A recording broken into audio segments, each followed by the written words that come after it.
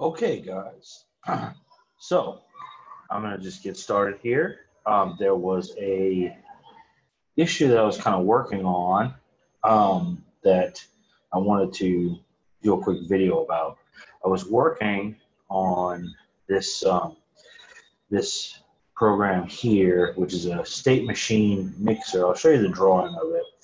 Here in OneNote, you can see that it was uh, a mixer with a pump and liquid, and I was trying to accomplish something with this uh, this state machines that um, is called a latching circuit. That's uh, it's pretty common in ladder.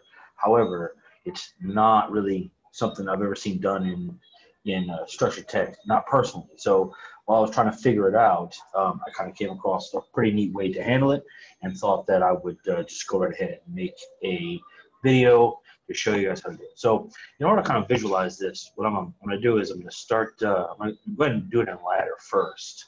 So to add a new POU here.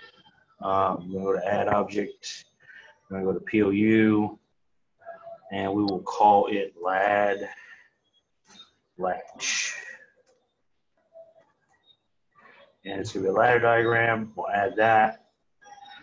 And we'll go ahead and right, right, right away, we'll add it to our main task. Because we know this is the one we're want to run. We'll remove this one from our main task.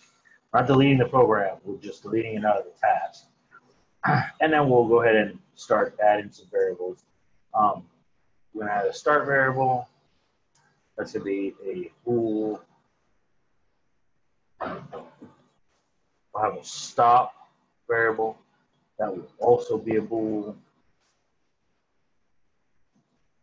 And then we'll have the motor variable.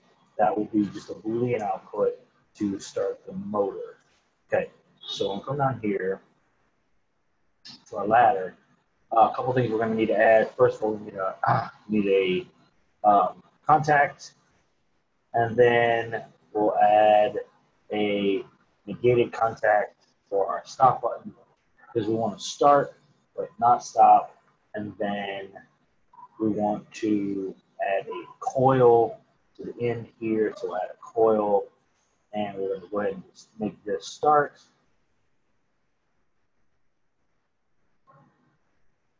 Okay, make this stop. Okay, And we'll make this the motor. Okay, so now we got that going on. Uh, in order to kind of show you what's happening here, uh, we'll do a quick little visualization. So uh, once we're in the visualization, some buttons do column controls, do a button. This button will uh, label start. Go ahead and select it, copy it, go ahead and paste this button and make this one our stop.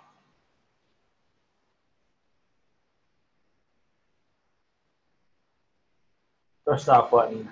Um, I'm gonna add some color to these just because I like it.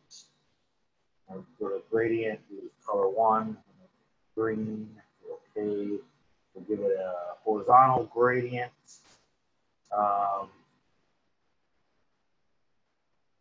yeah, horizontal gradient. And then make the gradient type radial, the axial.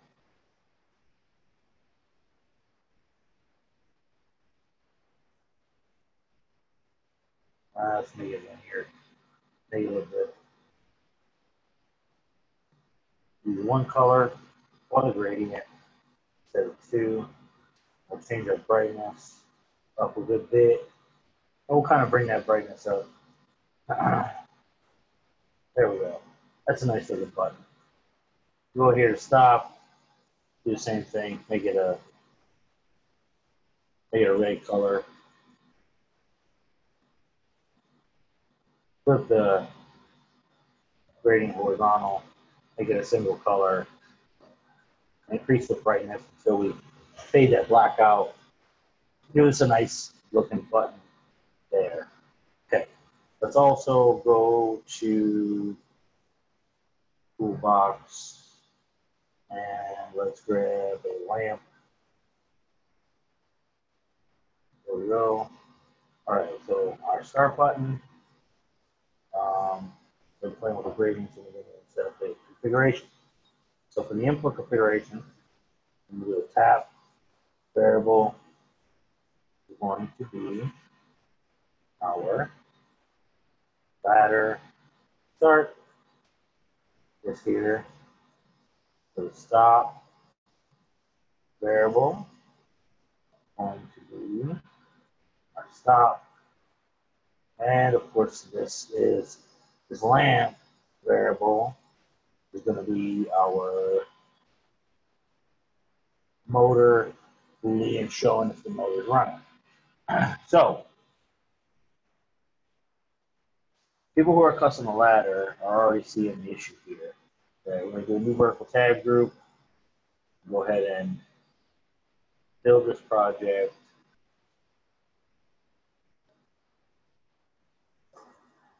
A second. Just add all that visual information.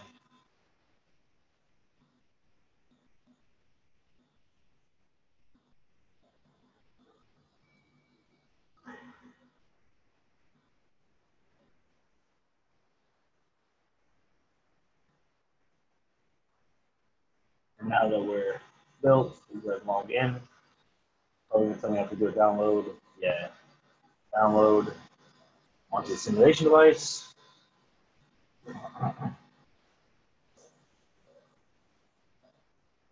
Those of you who are not familiar with uh, how to run a simulation on CodeSys, simply just go online and go to simulate. That will push in simulate mode. You'll see the simulation come up down here in the, uh, the bottom tray. This will load us up.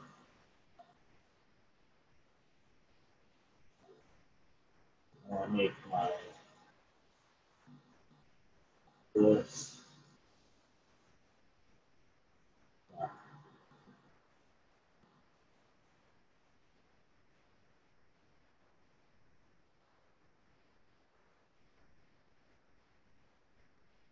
I'll make our toolbox disappear.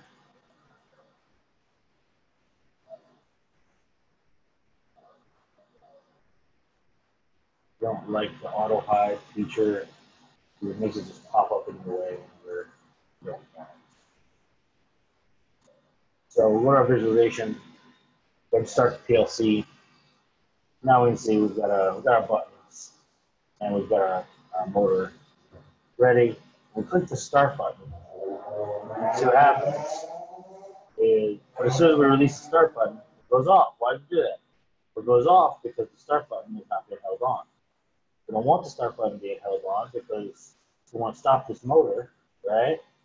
We want to stop, and we want to have to push the button, start it again, right? In order to make this Boolean uh, unlatch itself, if we if we do this, we have to take a whole another branch of logic that use the stop button to, to, to unlatch the start.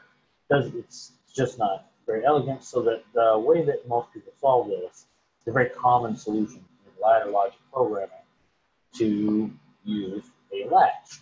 So what we'll do is we'll go here, we will add a uh, parallel branch, insert contact here. I actually want to do it this side. Insert uh, contact parallel below.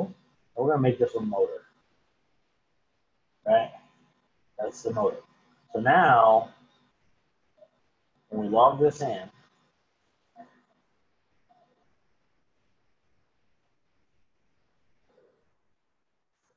I'm to go ahead and download again.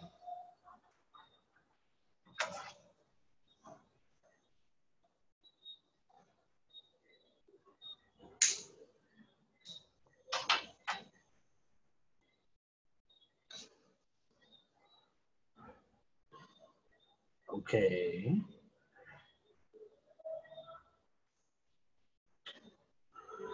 Once this gets downloaded,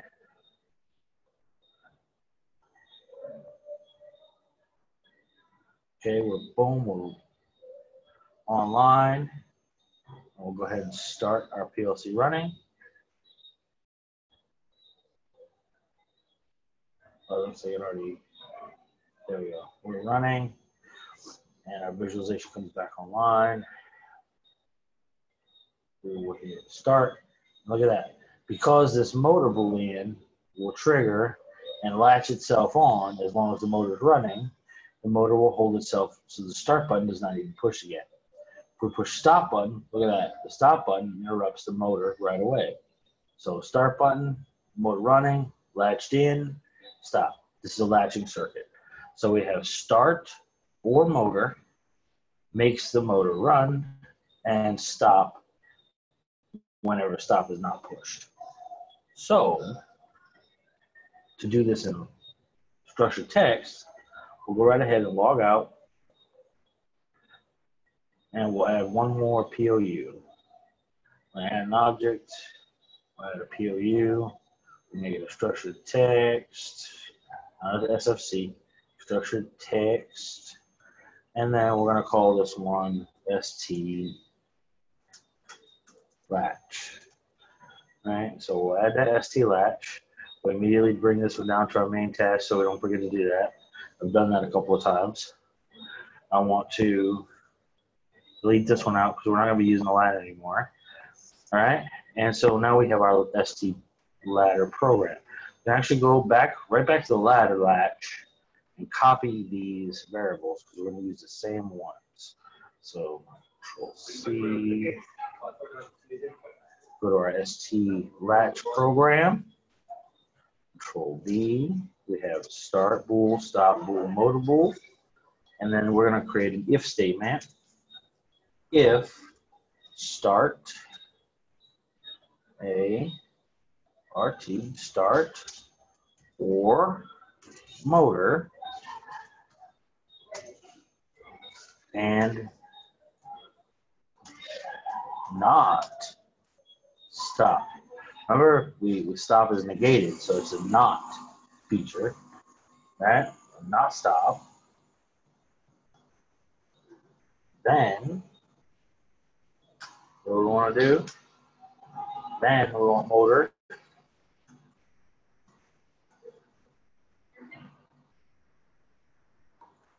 two, one, so it's running.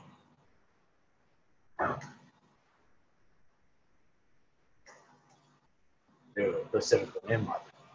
Else, so if any situation other than this occurs, right, meaning stop is pressed, then motor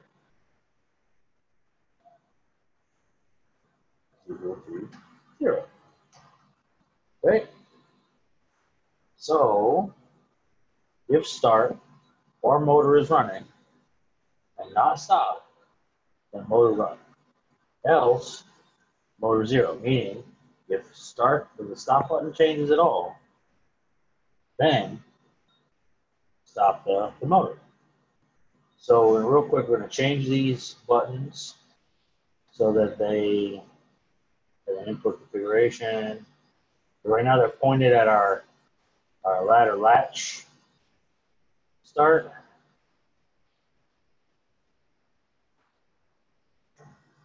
Take this out. So the ST, myself out of the way. Latch, uh, start.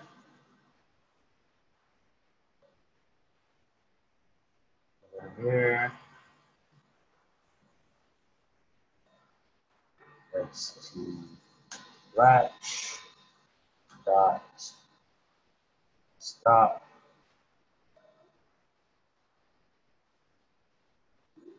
I can't see it long enough, so.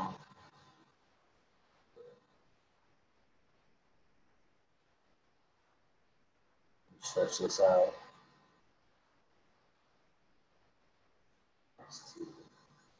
Latch dot stop.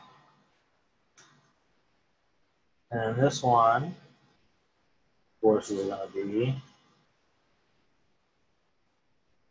thing. stlatch.motor. Okay. Good. Looks good to me.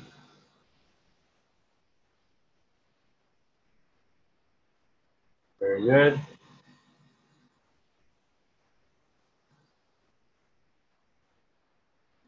And we'll go ahead and log in.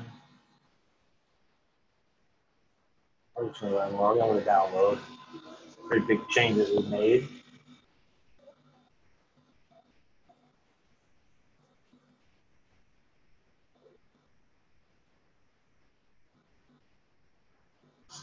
Sit back while that completes. And we're online.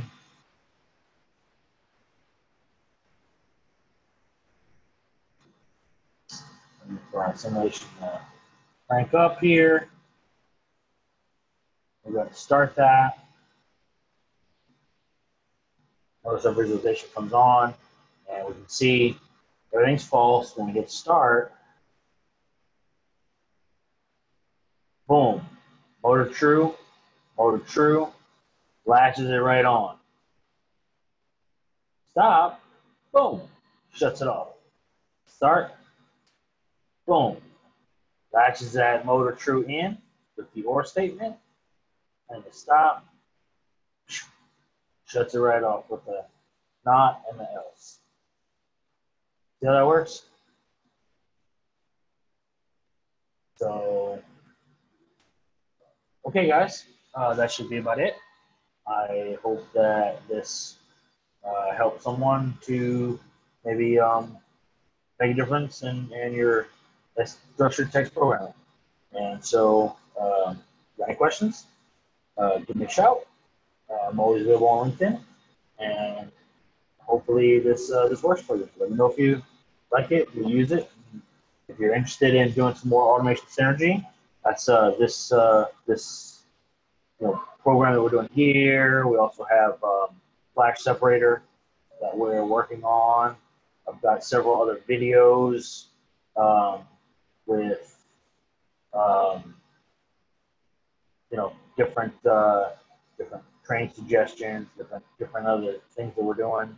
Um, got the CodeSys series uh, with the with the uh, initial videos and some initial information. If you want to get access to any of this, just email me and or hit me up on LinkedIn, and we can roll you right into our ladder logic, uh, or I'm sorry, our structured text programming uh, with with uh, CodeSys.